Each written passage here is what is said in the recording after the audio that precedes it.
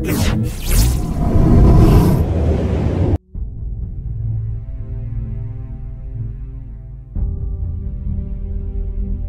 kedaulatan energi. Sejumlah aktivis yang tergabung dalam tim advokasi untuk kedaulatan energi menggugat pemerintah. Mereka mengajukan uji materi tentang Undang-Undang Minyak dan Gas Nomor 22 Tahun 2001. Mereka menilai undang-undang ini menjadi pangkal hilangnya kedaulatan energi nasional.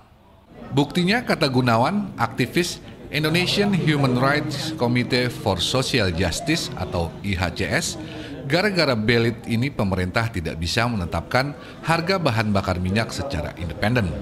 Eh, bagaimana cara menghitung biaya pokok, kemudian ada temuan ternyata secara sumur aja kita tidak tidak pasti itu di sumur. Di praktek kilang juga ternyata kita mengalami masalah. Kalau dulu Pertamina berdasarkan banyak pengamat karena Pertamina punya staf di seluruh Indonesia, dia mampu untuk mengukur kilang minyak misalnya hari ini itu volumenya sekian, besok adanya sekian itu menjadi pasti. Kalau sekarang tidak ada lagi bisa mengontrol secara pasti sekilang minyak. Jadi kita akhirnya ya sumur ya di kilang berarti kita ya ya di biaya pokok tidak ngerti, jumlah cadangan pastinya juga tidak mengerti. Nah akibat dari pemisahan hulu dan hilir, akhirnya di cadangan kita nggak ngerti berapa, tapi tiba-tiba bisa juga kita nanti impor gitu loh, ataupun kita menjadi menjadi ekspor. Jadi upaya untuk memenuhi pasokan dalam negeri menjadi tidak jelas dalam konteks ini.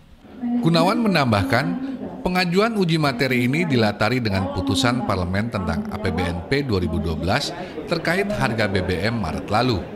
Saat itu, parlemen menetapkan perubahan harga BBM sepenuhnya diserahkan pada pemerintah. Menurut tim advokasi, putusan parlemen ini menandakan betapa riskannya meletakkan harapan pada anggota dewan, apatah lagi pada pemerintah untuk melakukan pembenahan kebijakan tata kelola energi Indonesia yang adil dan berdaulat.